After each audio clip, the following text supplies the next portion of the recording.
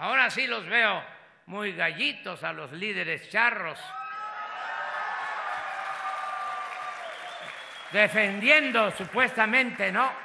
A los trabajadores. ¿Y qué hacían cuando habían 80 mil trabajadores trabajando por contrato? ¿Qué hacían en favor de los trabajadores?